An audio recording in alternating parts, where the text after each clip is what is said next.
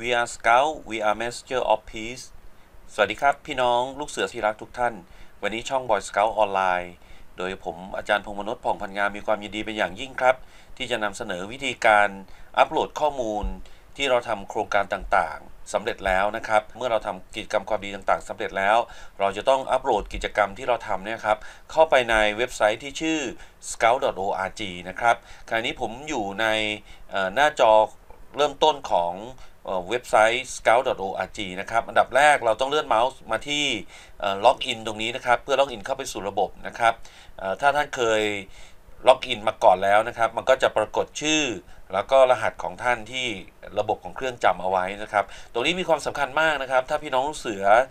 ได้สมัครเข้าใช้งาน scout.org ไว้แล้วต้องจำชื่อ ผู้ใช้อีเมลที่ใช้แล้วก็รหัสให้ได้นะครับ ในที่นี้ผมก็จะกด log in เข้าไปในระบบของผมเลยนะครับครับขณะนี้หน้าจอเข้ามาในระบบ log in เรียบร้อยแล้วนะครับ สังเกตง่ายๆ ที่เมนูด้านบนนะฮะจะมีคำว่า log out ก็หมายความว่าขณะนี้ทุกท่านเนี่ยอยู่ใน อยู่ในระบบของ scout.org เรียบร้อยแล้วนะครับ เราก็จะเดินทางเข้าไปในขั้นที่ 2 ต่อไป นั่นก็คือการกดที่เมนูคำสั่ง members นะครับที่อยู่ด้านบนตรงนี้นะครับ เมื่อกดเมนูคำสั่ง members นะครับ เราจะต้อง log in อีกหนึ่งครั้งนะครับโดยการกดตรงนี้ครับ log in นะครับครับ โปรแกรมก็จะ ปรากฏชื่อและรูปภาพของเรา ซึ่งท่านได้ใส่ไว้ในโปรไฟล์นะครับ อันนี้ผมก็แนะนำให้ทุกท่านเนี่ยได้อัปโหลดรูปของท่านเข้าไปในระบบโปรไฟล์ของ scout.org นะครับขั้นต่อมาครับเรากดที่คำว่า more นะครับแล้วเราก็ไปที่ scout for SDG นะฮะอยู่ทางด้านล่างๆนี้นะครับ เมื่อเรากดเข้ามาใน scout for SDG นะครับหน้าจอก็จะปรากฏ SDG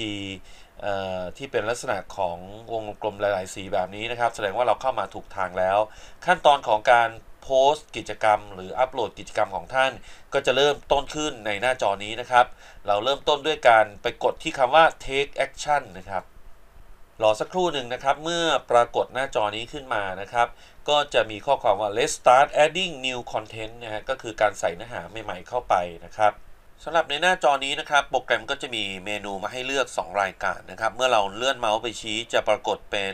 เส้น Active สีแดงๆแบบนี้นะ ถ้าเรากดเลือกก็จะมีเครื่องหมายถูกปรากฏขึ้น แปลว่าเราเลือกรายการนี้นะครับ ถ้าเราไปเลือกอีกอันหนึ่งก็จะมีเอ่อเครื่องหมายถูกปรากฏขึ้น เช่นเดียวกันนะครับ ในอันที่2เนี่ยครับหมายความว่าเป็นเรื่องของอการโพสต์ข่าวสารทั่วไปที่ไม่นับชั่วโมง Service How นะครับแต่ถ้าเราต้องการที่จะให้โปรแกรมนับชั่วโมงบริการของเรานะครับ ซึ่งก็จะเป็นผล ส่วนหนึ่งของผลงานของ Messenger of Peace ทุกคนนะครับเราต้องเลือกที่เมนูแรกนี้นะครับให้ปรากฏเป็นเครื่องหมายถูก หลังจากนั้นนะครับเราสามารถเลือกเมนูภาษาได้ปกติโปรแกรมจะตั้งที่เป็นภาษาอังกฤษนะครับสำหรับท่านที่สะดวกจะโพสต์เป็นข้อความภาษาอังกฤษก็ไม่ต้องเปลี่ยนแปลงอะไร แต่ถ้าหากว่าท่านที่อยากจะโพสต์เป็นภาษาไทยนะครับ เราก็กดที่ตัวเลือกตรงนี้นะครับแล้วเลื่อนลงไปด้านล่างนะครับ ก็จะเห็นว่ามีภาษาไทยให้เลือกด้วยนะครับ หลังจากนั้นเราก็กด continue ครับ และในหน้าจอนี้นะครับเป็นขั้นตอนที่ 2 นะครับ สังเกตง่ายๆ จะมีสัญลักษณ์รูปเลข 2 อยู่ทางด้านมุมซ้ายด้านบนนี้นะครับ ในหน้าจอนี้นะครับ โปรแกรมถามเราว่า what is your project about นะครับผลงานโครงการของคุณเนี่ยเป็นเกี่ยวกับอะไรนะครับ จะปรากฏเป็นช่องให้เลือกจำนวน 27 รายการนะครับ ในที่นี้ผู้ที่จะโพสต์นะครับจะต้องเลือก 3 หัวข้อ ที่จะเกี่ยวข้องหรือว่าตรงกับโปรเจกต์ที่เราจะทำมากที่สุดนะครับหัวข้อต่างๆ เหล่านี้มีอะไรบ้างเราลองมาดูกันนะครับ อันดับแรกเลยนะครับ better choice ก็คือ หมายความว่าเป็นทางเลือกที่ดีกว่านะครับ civil engagement นะครับก็เป็นเรื่องของการมีส่วนร่วมของประชาชนหรืออผู้คนทั้งหลายนะครับ clean energy เป็นเรื่องของพลังงานสะอาด communication and scout scouting profile ก็เป็นเรื่องของการติดต่อกันระหว่าง ลูกเสือนะครับ cultural and heritage ก็เป็นเรื่องของศิลปะวัฒนธรรมคำว่า heritage ก็หมายถึงสิ่งที่เป็นโบราณทั้งหลายนะครับเพราะฉะนั้นอาจจะเกี่ยวข้องกับมรดกทางด้านวัฒนธรรมที่มีอายุหน่อยนะครับ หัวข้อ diversity and inclusion ก็เป็นเรื่องของความหลากหลายการไม่แบ่งแยกนะครับ entrepreneurship ก็เป็นเรื่องของผู้ประกอบการ global support assessment tool assessment tool ก็หมายถึงเครื่องมือที่มันเป็นประโยชน์ทั่วโลกนะฮะ good governance ก็เป็นเรื่องของธรรมาภิบาลนะครับ growth เป็นเรื่องของการเจริญเติบโต ความเติบโตนะครับ health lifestyle นะครับ ก็เป็นเรื่องของสุขภาพแล้วก็การใช้ชีวิตนะครับ healthy planet ก็เป็นเรื่องของสุขภาพของโลกนะครับ humanitarian action ก็เป็นเรื่องของมนุษยธรรม นะครับ inner peace and spirituality ก็เป็นเรื่องของจิตวิญญาณ ความสงบสุขทั้งหลายนะครับ เรื่องที่เราทำเป็นเรื่องเกี่ยวกับพวกนี้ไหมนะฮะ interpersonal skill ก็เป็นทักษะด้านมนุษยสัมพันธ์ leadership ก็เป็นเรื่องของอภาวะผู้นำนะครับ legacy BWF นะฮะ อันนี้ก็จะเกี่ยวข้องกับเป็นเรื่องเกี่ยวกับสำนักงานลูกเสือโลกนะฮะ Better World Framework นั่นเอง BWF เป็นตัวย่อของ Better World Framework นะครับ literacy ก็เป็นเรื่องเกี่ยวกับการรู้หนังสือการอ่านออกเขียนได้นะครับ mental health ก็เป็นเรื่องของสุขภาพจิตนะครับ nature and biodiversity นะฮะก็เป็นเรื่องของธรรมชาติ แล้วก็ชีวภาพทั้งหลายนะ partnership ก็คือการร่วมมือกันนะฮะการทำงานร่วมกันหรืออการทำโปรเจกต์ร่วมกันหรือ มีคนอื่นที่ทำงานร่วมกับเรานะครับ peace building เป็นเรื่องของการสร้างสันติภาพนะฮะ personal safety เป็นเรื่องของความปลอดภัยส่วนบุคคลนะฮะ responsibility and consumption responsibility consumption ก็เป็นเรื่องของการบริโภคอย่างอย่างมีคุณค่านะครับ steam steam นี่ก็อันนี้อันนี้ผมผมคาดเอาเองนะฮะ มันน่าจะมาจาก STEM นะฮะ ก็ประกอบไปด้วย science technology engineering ส่วน A นี่มาจาก art นะครับ แล้วก็ M ก็มาจาก mathematics team นะฮะก็เป็นเรื่องเกี่ยวกับทางด้านวิทยาศาสตร์นะครับ sexual and reproductive health ก็เป็นเรื่องของเออเรื่องทางเพศกับการเจริญพันธุ์นะฮะสุขภาพนั่นทางเพศกับการเจริญพันธุ์ youth engagement ก็คือเรื่องของการมีส่วนร่วมของเยาวชน Youth โปรแกรมก็คือเป็นโปรแกรมที่จัดขึ้นสำหรับเยาวชนนะครับ ในทั้งหมด 20 กว่าข้อนี้ครับ ท่านจะต้องเลือก 3 หัวข้อนะครับ ในที่นี้ผมจะลองเลือกดูนะครับว่าโปรเจกต์ของผมนี้จะเกี่ยวข้องอะไรอะผมเกี่ยวกับ leadership นะครับ อันที่ 2 นะครับผมเลือก legacy BWF นะครับ ก็คืออเป็นส่วนหนึ่งของ Better World Framework นะครับ แล้วก็เลือกอีกอันหนึ่งนะครับ เราจะต้องเลือกทั้งหมด 3 3 เรื่องด้วยกันนะครับน่าจะเป็นเรื่องของ peace building นะครับส่วนหัวข้อถัดมานะครับก็จะเป็นเรื่องเป็นส่วนที่สอดคล้องกับ SDG ขององค์การสหประชาชาตินะครับ ซึ่งท่านก็ที่ผ่านการฝึกอบรมก็จะทราบแล้วว่า SDG นั้นมี 17 ประเภทนะครับ ในโปรเจกต์ของเราที่เราทำเนี่ยครับ สอดคล้องกับ SDG ข้อไหนนะครับ ในที่นี้ผมจะโพสต์เกี่ยวกับการฝึกอบรม เพราะฉะนั้นก็จะไปสอดคล้องกับหมายเลขที่ 4 นะฮะ quality education นะครับ ทันทีที่เราเลือก รายการข้างบน 3 รายการครบตามที่เขากำหนดนะครับ แล้วก็เลือก SCG ที่เกี่ยวข้องกับโปรเจกต์ของเรานะครับ ในส่วนของทางด้านขวามือนี้นะครับ โปรแกรมจะขึ้นขึ้นข้อความที่เป็นสรุป ของเรามาให้เลยอัตโนมัตินะครับ โดยพิจารณาจากสิ่งที่เราเลือกไป 3 ประการข้างบนนี้กับ1 SCG นี้ครับ ถ้าหากว่าเราเห็นว่ามันไม่ตรงนะครับ เราสามารถที่จะ remove it ได้เนี่ยเขาบอกนะฮะ เราสามารถที่จะออกได้ ในที่นี้ผมก็คิดว่าตรงแล้วนะครับ เพราะนั้นผมก็จะกด continue ไปนะครับ ในหน้าจอนี้ครับเป็นเรื่องของอ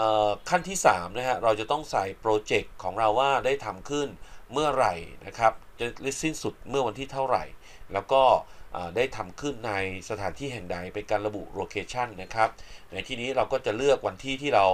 ได้จัดกิจกรรมอบรมรุ่นที่5นะฮะเมื่อวันที่ 7 ตุลาคม พศ 2565 แล้วก็สิ้นสุดในวันที่ 9 ตุลาคมนะครับ พศ 2565 เช่นเดียวกันสำหรับ project location นะฮะก็ระบุประเทศไปเลยนะครับ เราก็กดตรงนี้แล้วก็เลือกรายการเป็น Thailand นะครับ ส่วนคำว่า state หรือเมืองหรือ zip code city นี่เราไม่ใส่ก็ได้นะ มันเป็น optional optional คือไม่ใส่ก็ได้หรือท่านจะใส่ก็ได้นะครับ ก็ใส่ไป ทีนี้ประโยชน์ของในหน้าจอนี้คืออะไรนะครับ เขาก็อธิบายตรงนี้นะครับว่า basic information นี้ครับมันจะเป็นประโยชน์มาก เพราะว่ามันจะช่วยให้โปรเจกต์ของเราเนี่ยไปจัดกลุ่มอยู่ในกลุ่มกลุ่มใดกลุ่มหนึ่งนะครับ ซึ่งจะหาได้ง่าย เช่นเราระบุว่าเป็น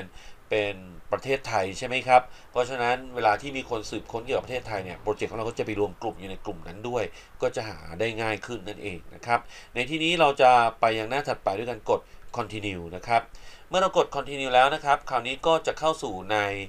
หน้าจอลำดับทีสี่4นะครับเป็นเรื่องของ project detail นะฮะในที่นี้เขาก็จะให้เราระบุจำนวนของผู้ที่ร่วมกิจกรรมของเรานะครับในที่นี้นะครับ ในโครงการครั้งที่ 5 นะครับ เมื่อวันที่ 7-9 ตุลาคมที่ผ่านมานี้ที่ค่ายลูกเสือนาคาแคมป์สารยาจังหวัดนครปฐมเนี่ยก็จะมีจำนวนผู้เข้ารับการอบรมประมาณ 80 คนนะครับ วิทยากรและก็ผู้สนับสนุนรวมทั้งท่านประธาน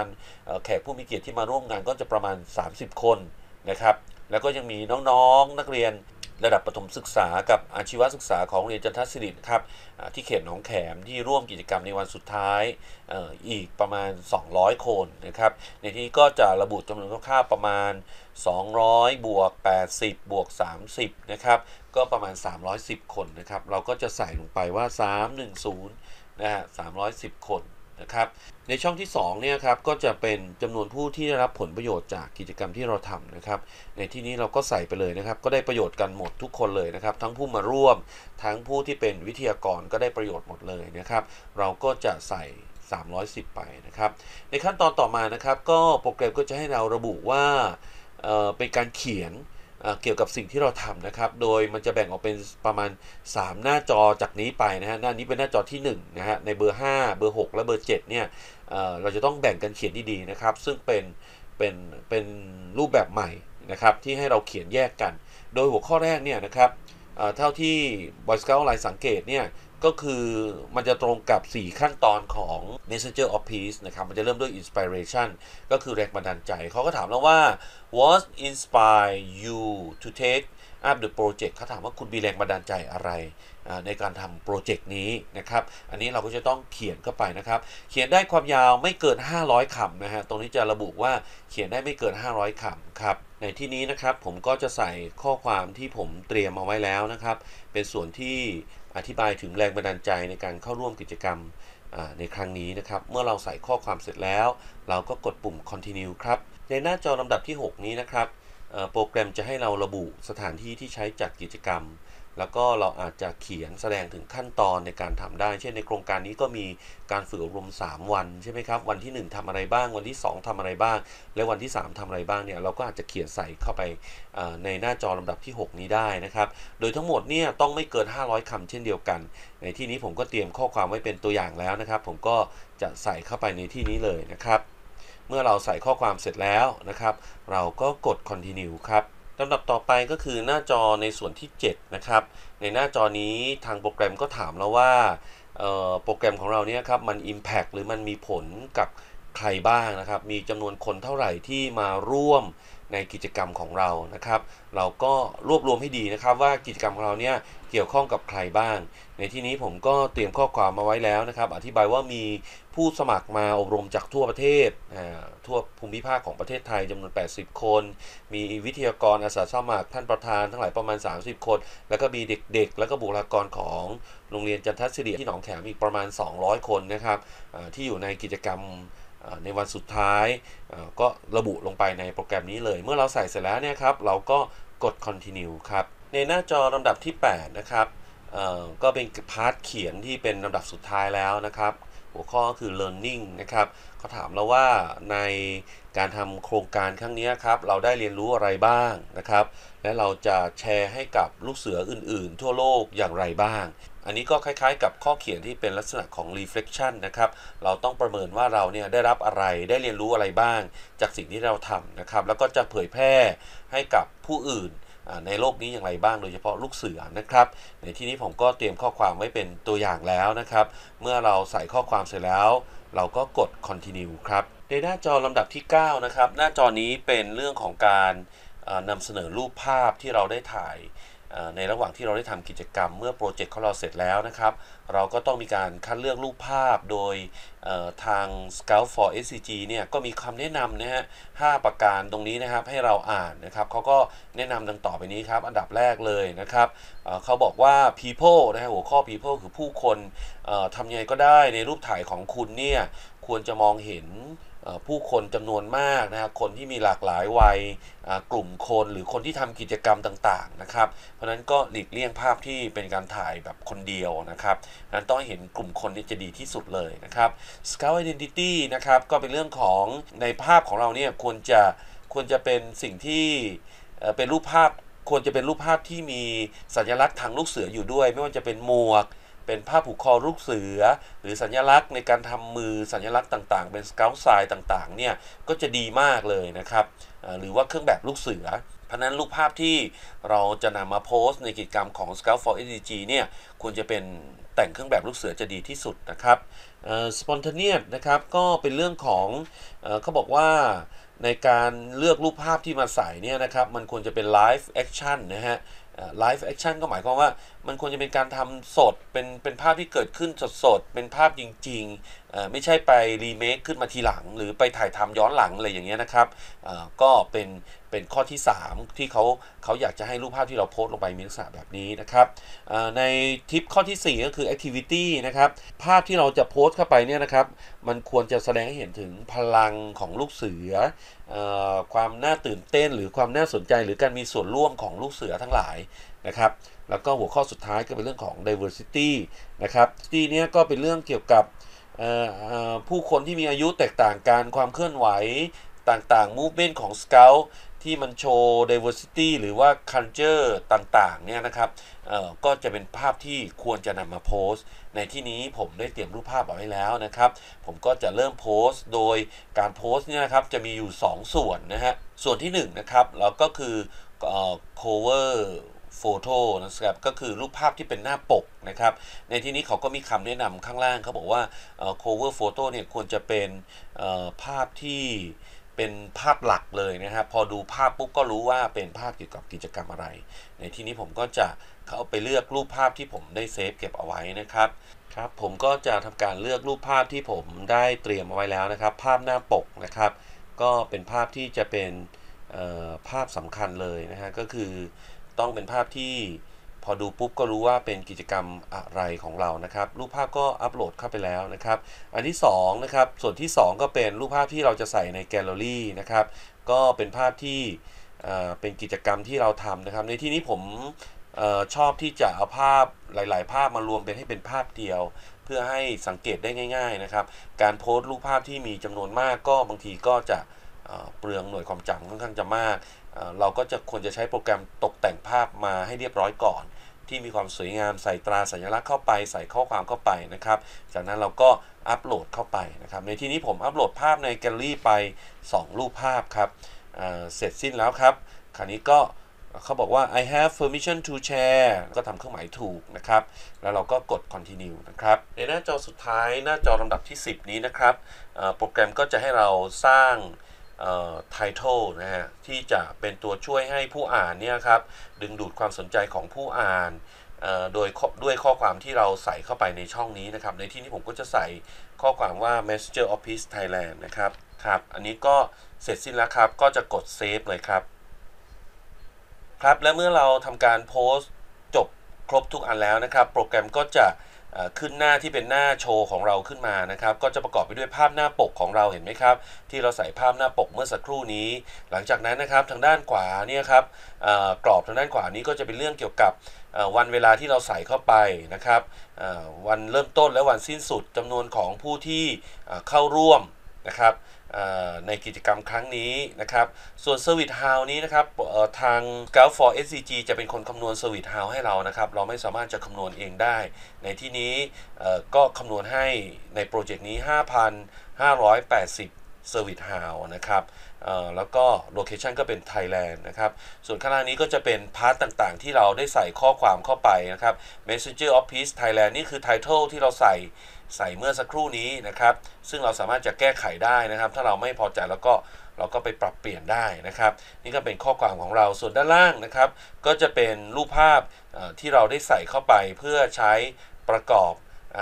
ในเรื่องราวที่เราได้โพสต์นะฮะ จะเห็นว่ารูปภาพที่ผมใส่เข้าไปเนี่ย ผมก็จะมีการตัดแต่งให้เรียบร้อยให้สวยงามใส่โลโก้ แล้วก็ข้อความที่เป็น